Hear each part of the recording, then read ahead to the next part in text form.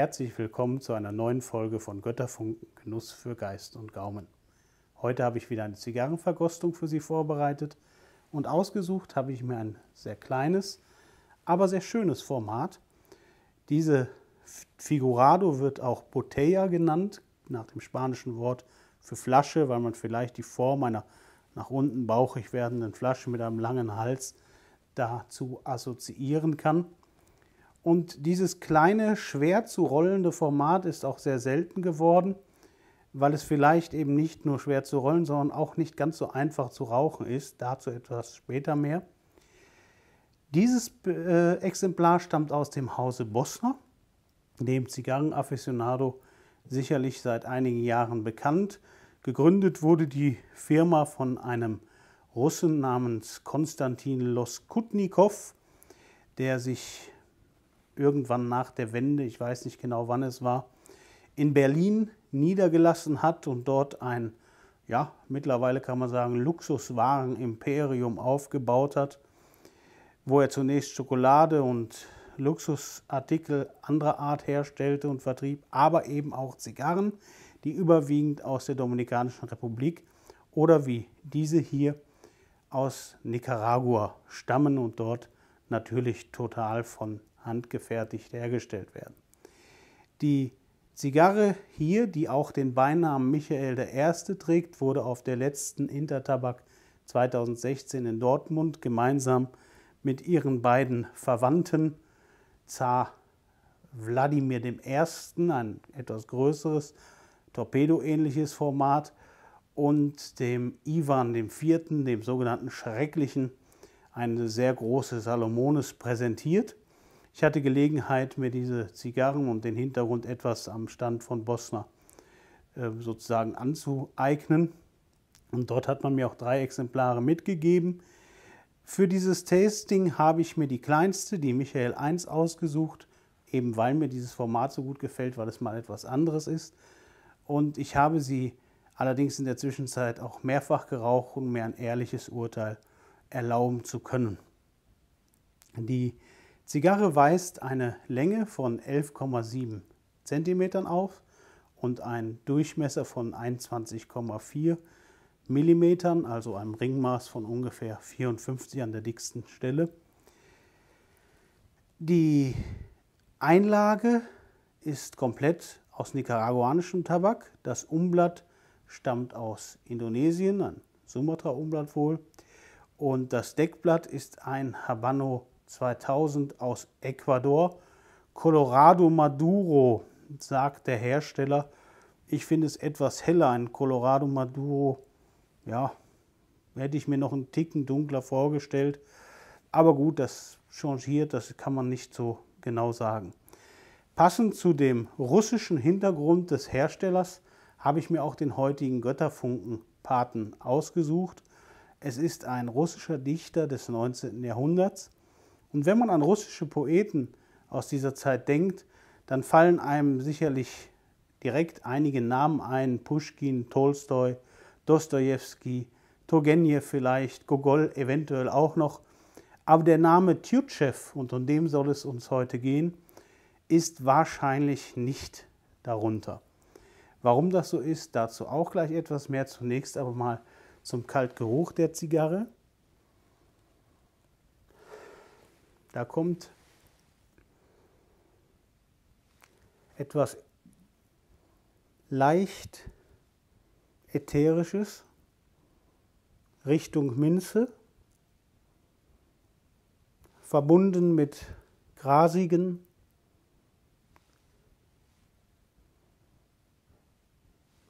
und auch leicht süßlichen Noten kein besonders intensiver Kaltgeruch, aber auch nicht so, dass nichts vorhanden wäre. Ich schneide das gute Stück mal vorsichtig an. Mit dem großen Cutter ist hier Vorsicht geboten. Den Kaltzug werde ich mir wahrscheinlich sparen können, denn die Zigarre ist an beiden Enden, sie hat einen geschlossenen Fuß, ursprünglich also an beiden Enden zugewesen sodass man da wahrscheinlich kräftig ziehen kann. Da kommt aber wahrscheinlich aromatisch nicht viel bei rüber. Aber der Lippenkontakt ist interessant. Er weist nämlich darauf hin, Bosner macht das manchmal, dass diese Zigarre gedippt wurde. Das heißt, dass da eventuell der Tabak später in etwas süße Zuckerlösung eingetunkt wurde. Ob das bei diesem Format der Fall ist, ich hatte dieses Gefühl an den Lippen bei manchen der Exemplare, bei manchen auch nicht. Ich konnte es nicht verifizieren und da ich sie damals, als ich auf der Intertabak war, noch nicht probiert hatte, konnte ich äh, Baron von Bosner auch nicht danach fragen. So nennt sich übrigens äh, der gute Loskotnikow, Loskotnikow heute nach seiner Urgroßmutter, weil ihm ein deutscher Name Bosner wahrscheinlich passender für ein solches Luxuswaren-Imperium, was er in Deutschland oder aus Deutschland heraus seine Waren vertreibt, erschien, als ein doch recht schwierig auszusprechender russischer Name. Also, das untere Ende cutten wir natürlich nicht an, wir flemmen es ab. Mein üblicher Zwei-Flemmer ist dafür allerdings ein bisschen zu brutal, also gehen wir etwas vorsichtiger zu Werke. Und dazu vielleicht noch etwas zum Götterfunkenpaten. Fjodor Tjutschew habe ich mir ausgesucht, weil dieser Dichter, er lebte übrigens von 1803 bis 1873, ich muss hier ganz präzise arbeiten, damit wir die schöne Zigarre nicht kaputt machen, weil dieser Dichter eben, obwohl er fast ein Drittel seines Lebens in Deutschland verbrachte, hier kaum bekannt ist.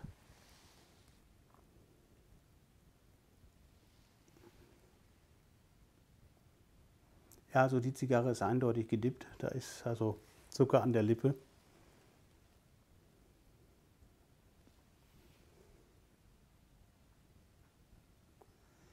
Obwohl wir jetzt nur einen sehr kleinen Anbrand haben, kommt schon ein ordentliches Rauchvolumen mit anfänglichen Holznoten.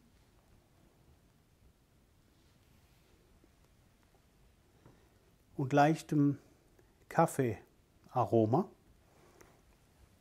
Apropos Aroma, das Aroma der Dichtung Fjodor Tjutschews, der ja sozusagen in die Romantik hineingeboren wurde und der den Großteil seines oder einen Großteil seines Lebens ja in Deutschland verbrachte, genauer übrigens in München. Das kam so, dass er nach seinem Studium, das er sehr früh hat in Moskau beginnen können und ein Jahr früher mit Auszeichnung abschloss, als es üblich war. Er studierte schön geistige Wissenschaften, wie man das damals so nannte. Heute würde man vielleicht Philologe dazu sagen. Dass er danach eine Stelle als Attaché des Gesandten in der Münchner Botschaft oder der Münchner Gesandtschaft sozusagen bekam und dort sehr schnell Aufnahme fand als eleganter, junger und wohlgewandter, gut Deutsch sprechender Mann in die Münchner Gesellschaft. Und Tjutschew dichtete sozusagen zunächst nur für sich selbst und verrichtete seine Arbeit als Politiker, als Bürohengst würde man heute sagen, oder als Büromensch und er lernte zu dieser Zeit die ganze Münchner Geisteswelt kennen und besonders beeindruckt hat ihn der Philosoph Schelling, der auch die gesamte Romantik ja beeinflusst hatte. Und auf Schellings Einfluss, besonders auf seine Vorlesung über die Mythologie der Natur oder die Mythologie, die Philosophie der Mythologie und die Philosophie der Offenbarung, eben auch die Naturphilosophie, gehen sogenannte kosmische Vierzeiler, wie sie später genannt wurden, von Tjutschew zurück. Und einen davon möchte ich Ihnen jetzt einmal servieren.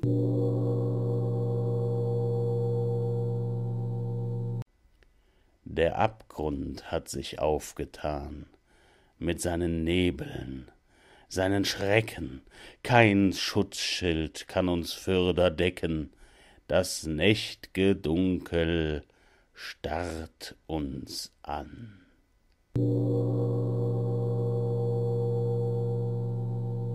Zutiefst romantische, dunkle, düstere Verse, wie gesagt auch beeinflusst von Friedrich Schellings Philosophie.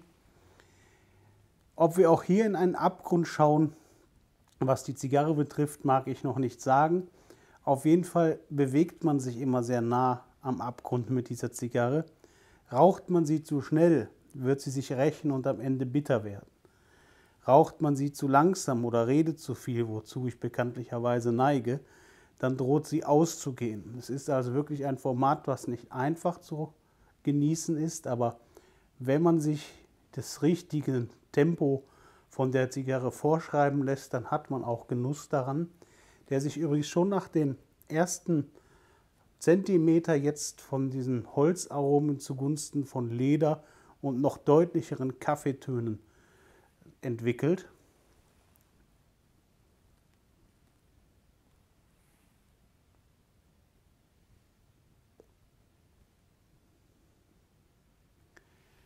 Der Rauch ist angenehm, nicht sehr weich, hat schon die eine Ecke oder Kante, aber es ist immer noch ein angenehmer Rauch und diese kleinen Peaks, die der Rauch verursacht, kann die Zigarre auch gut vertragen, denn sie ist bisher recht mild und so eine kleine Spitze, die jetzt nicht aus dem Aroma, sondern aus tatsächlich aus der Textur des Rauches kommt, steht ihr recht gut an. Apropos recht gut anstehen,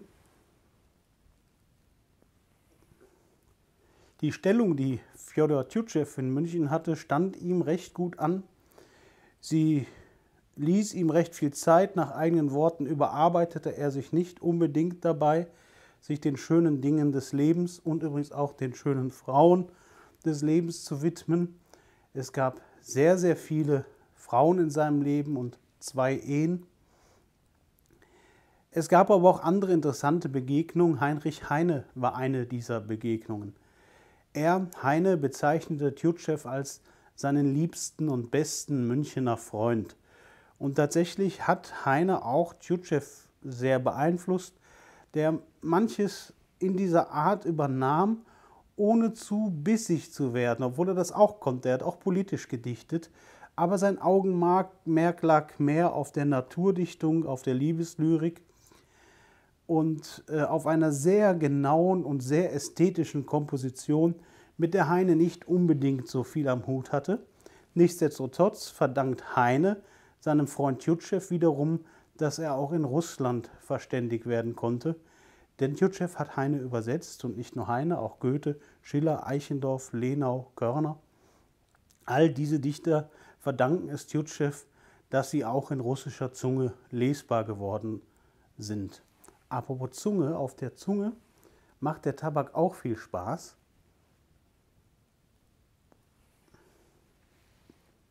Denn wenn man ihn länger kaut, man hat ja bei manchen Tabaken so ein leicht pelziges Gefühl, das kommt hier Gott sei Dank überhaupt nicht auf, sondern es ist eher so eine, ein, ein leichtes, minimales Stechen, wenn man die Zunge an den Gaumen presst und da spürt man dann noch leichte, diese süßlichen Aromen nach. Also der Kaffee, den ich hier beschrieb, geht eher in so eine Richtung eines süßeren Cappuccinos. Es ist wirklich ein sehr interessantes Aroma immer noch mit Leder verbunden, leichte Holznoten auch noch dabei. Das Ätherische, von dem ich am Anfang im Kaltgeruch sprach, das habe ich jetzt auf der Zunge so bisher nicht gespürt, aber da ist ja noch, liegt ja noch einiges vor uns. Und ich möchte Ihnen jetzt noch einen weiteren Götterfunken präsentieren von Tjutschew, der vielleicht seine Wesensart sehr gut wiedergibt, aus der man dann herauslesen kann, warum er vielleicht nicht ganz so populär ist wie die anderen heute so berühmten russischen Dichter.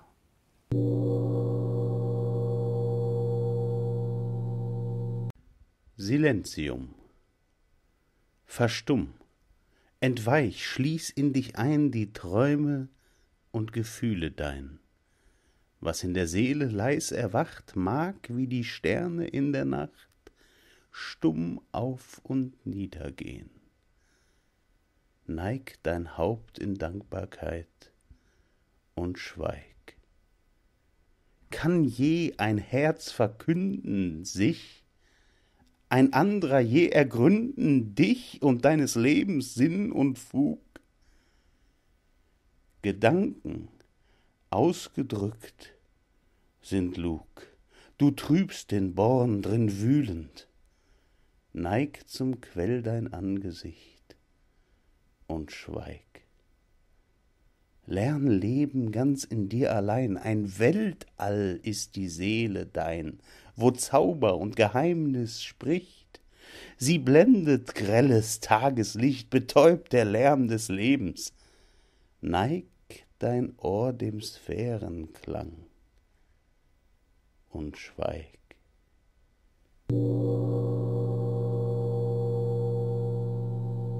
Diese Zeilen zeigen einen introvertierten, ja einen vergeistigten Menschen, der Fjodor Iwanowitsch Tjutschew auch sicherlich war, zumindest was den Sphärenklang seiner Poesie angeht. Klang führt mich übrigens auch dazu, dass er mütterlicherseits nicht nur mit Leo Tolstoi, sondern auch mit dem berühmten russischen Komponisten Nikolai Rimsky-Korsakow verwandt war.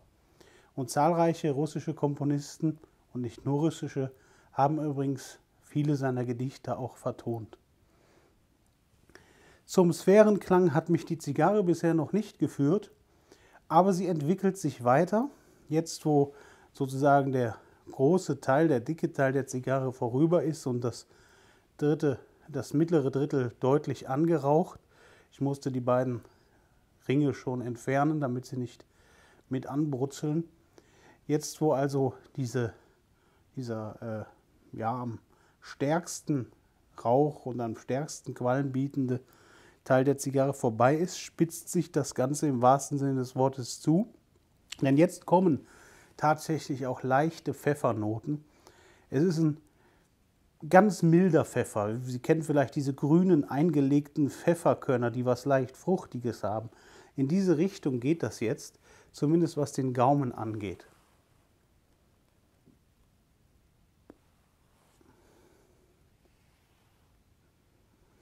Durch die Nase, retronasal hingegen, dominiert immer noch Leder.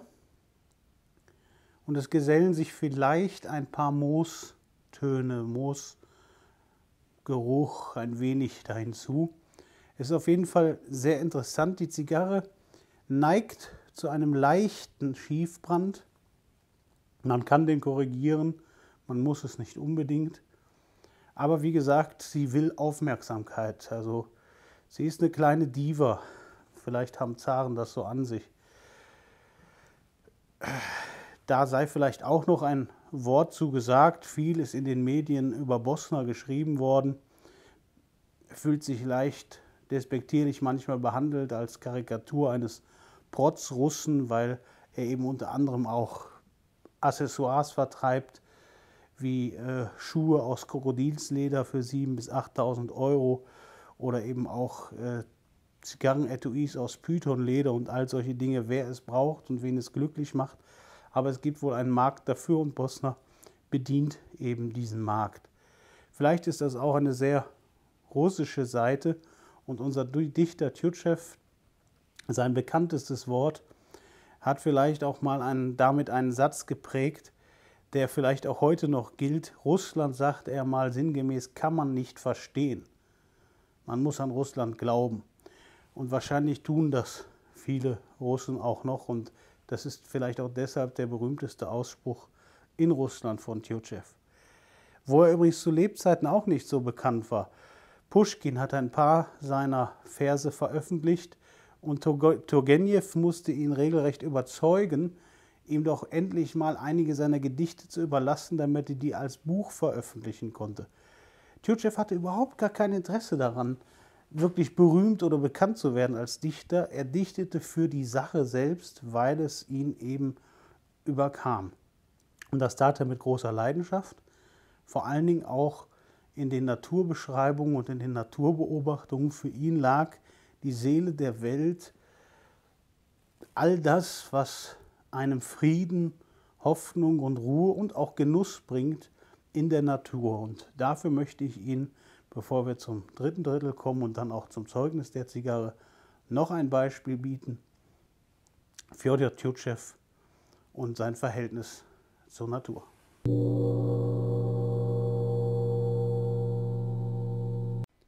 An die Materialisten.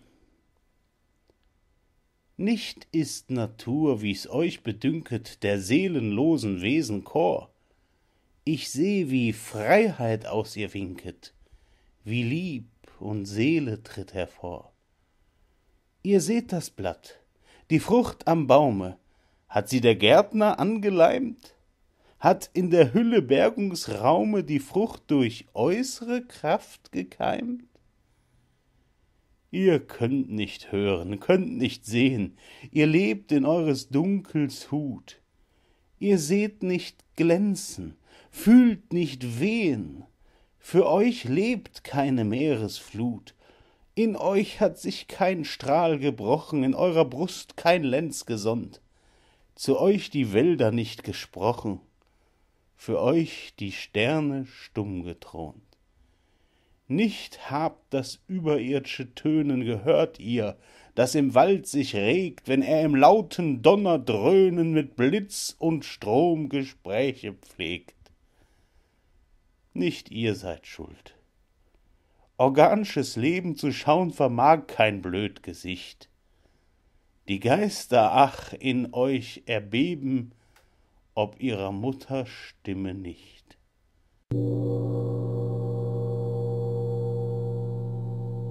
Das letzte Drittel beginnt versöhnlich. Die Zigarre ist mir nicht böse, also sie ist nicht bitter geworden. Ich habe diese kleine Schönheit wohl relativ anständig behandelt. Und aromatisch, wenn sie jetzt zum Ende hinzuläuft, man würde erwarten, dass sie kräftiger wird, dass sie vielleicht auch etwas schärfer wird. Das tut sie aber nicht. Es bleibt also bei diesen Grünpfefferaromen, bei dem Leder, das Moos, was ich ansprach.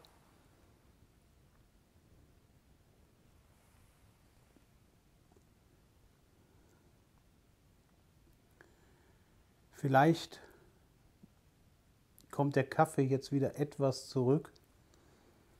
Aber wie gesagt, es bewegt sich alles so in diesem doch recht gut zusammen komponierten Spektrum. Apropos komponiert, das zeichnet auch unseren Dichter Tjutschew aus. Seine Werke sind ästhetisch durchkomponiert.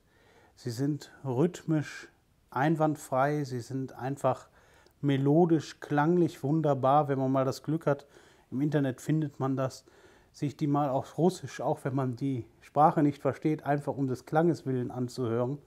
Das ist schon wunderschön, was dann dabei rauskommt. Einen kleinen Tjutschew, bevor ich das Zeugnis ausstelle, möchte ich Ihnen noch servieren. Und zwar, um auch einmal etwas Politisches zu bringen. Ost und West heißt das kleine Gedicht. Und auch dieses Gedicht, was man politisch lesen kann, kommt natürlich nicht ohne Naturmetaphern aus.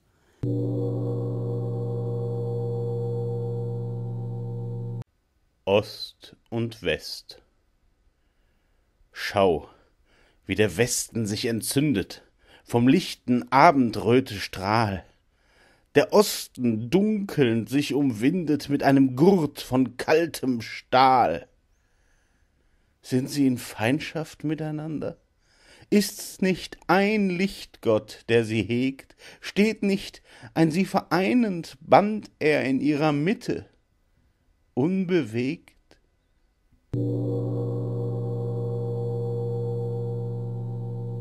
Der unbewegte Beweger, der Lichtgott, der Sol Invictus, der unbesiegbare Sonnengott, Vielleicht auch das Flammenlicht der Erkenntnis gemeint, das Licht der Vernunft. Wie schön wäre es, wenn es tatsächlich als vereinigendes Band zwischen Ost und West denn wirklich mal zwischen Orient und Okzident tritt und diese beiden doch so oft jetzt aufeinanderprallenden Gefilde vereinigen würde, Kraft der alles überstrahlenden Vernunft. Alles überstrahlen tut diese Zigarre dadurch, dass es ein wirklich wunderschönes Format ist. Wir blenden das Zeugnis ein und zum Aroma hatte ich einiges gesagt. Optik und Haptik, wie gesagt, gefallen mir außerordentlich spitze. Zum Zugverhalten ist einiges zu sagen, denn das macht auch diese Zigarre aus. Das Zugverhalten ändert sich beständig, weil man ja mit einer kleinen Spitze anfängt, dann kommt dieses voluminöse, große Wulst, und zum Ende hin ja, hat man wieder einen etwas schwereren Zug Nicht zu schwer, es ist durchgehend ein angenehmes Zugverhalten, aber eben ein wechselndes. Es macht die Sache spannend, aber auch, wie gesagt, ich sagte es am Anfang, schwierig zu rauchen. Man muss also wirklich Geduld mit dieser Zigarre haben und Nachsicht.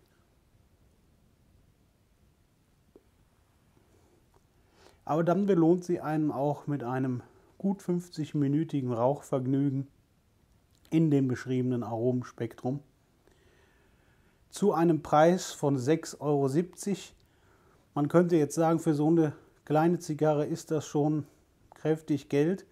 Aber wie gesagt, bedenken Sie das kunstvolle Rollen und auch die durchaus gelungene Komposition der Tabake, die hier in diesem kleinen Stück drin steckt. Und am Ende bleibt mir wieder nur eins zu sagen. Denken Sie wie immer daran, manchmal ist eine Zigarre auch einfach nur eine Zigarre.